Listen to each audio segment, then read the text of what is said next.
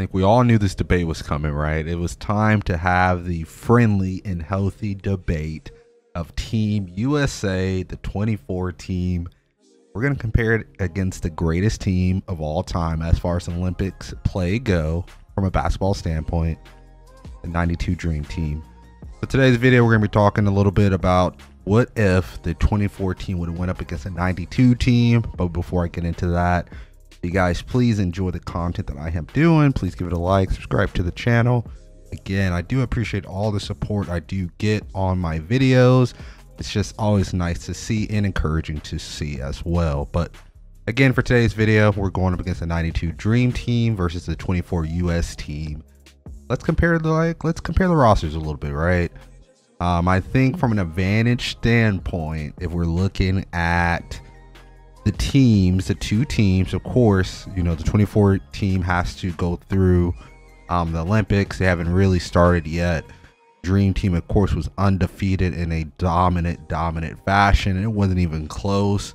Um, but also, to the international play is a lot different back then compared to now. Um, I feel like from an international standpoint, teams are a lot better course, a lot of the players across the world is a lot better um, compared to what the 92 Dream Team went up against. But regardless, you know, if we're looking at the positions, comparing them, you know, you had David Robinson, you had Patrick, you know, and then you compare that again to like we have Bam, you have AD, you have Joel Embiid.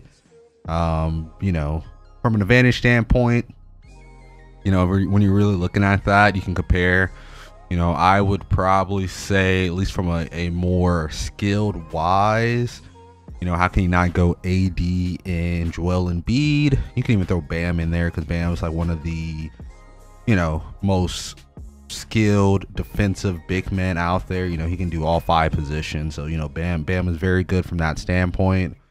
Um, yeah, and you know, who would y'all guys pick there? David Patrick versus Joel AD. I would probably lean more towards the 92 Dream Team. You know, Patrick Ewing, he was great. You know, this is also to even look at it like from an age standpoint. You know, during that time, Patrick was like 29, 30. Even David was like 20, around the 26 mark. Um, so, you know, they're fairly young there. Um, so I probably lean more towards uh, the 92 Dream Team from that regard. Then, of course, when you go from a guard standpoint, you look at the 92 Dream Team, you have a prime, prime Michael Jordan, you got a Clyde, you got John Stockton, you got of course Magic. But from Magic standpoint, this is when he already retired. He was already retired from the NBA. You know, he's going through his whole situation. But still, he was 32, right? You know, it's not like Magic was 40 and he couldn't play. Um, he was still 32. He was just going through all his stuff. um, and then from the 24 USA team, you you know, from a guard standpoint, of course, you have Devin Booker, you got Steph, um, you got, I guess you can kind of throw them in there. You know, you, you got Anthony Edwards, Jrue Holiday, Tyrese, Derrick White. Um,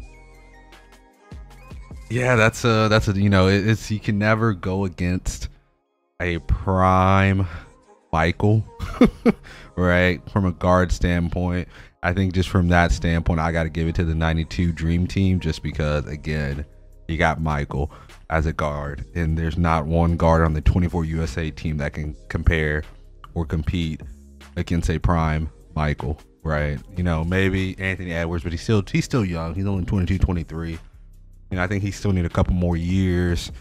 Um, and I'm just looking at it from the matchup standpoint of MJ. You know, do I have do I pick anyone else over like from a guard standpoint? Probably not, right? You know, I, I think Steph at this point of his career, he's still one of the most dynamic point guards. Um, now,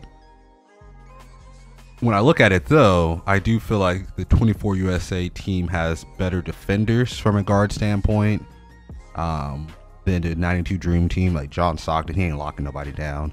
Like Clyde, yeah, you know Clyde, Clyde, he was good, but you know he's not he's not shutting anyone down.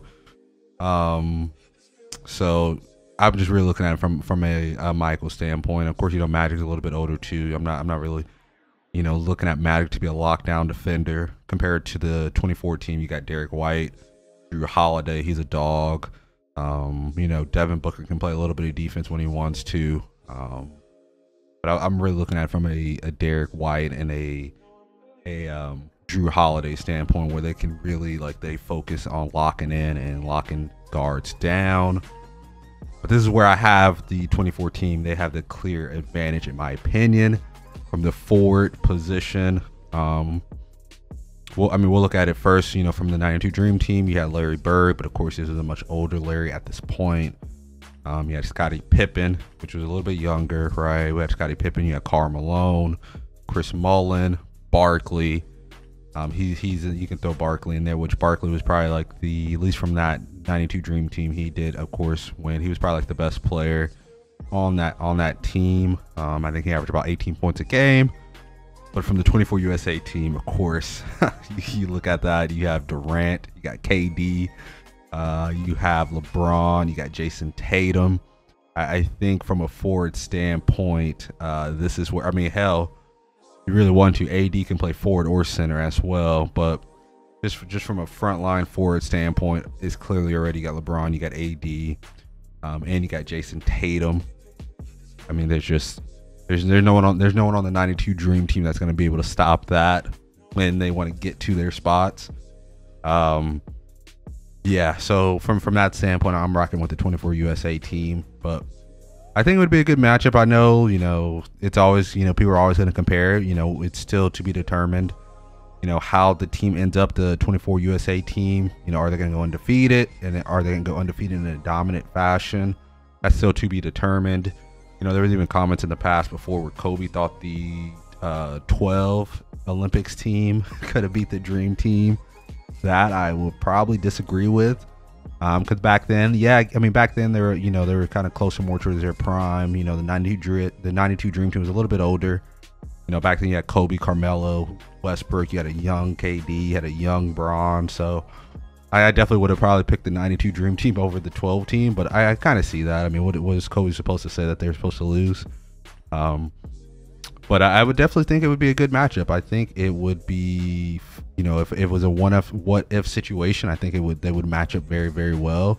Now, who, who will win in a seven game series? You know, who knows, right? Who knows? But that's that's the that's the fun in this to have healthy debates of what if scenarios. Um, but yeah, what do you guys think? Do you guys have in this situation? Would you guys pick the 92 Dream Team? Would you guys pick the 24 USA team?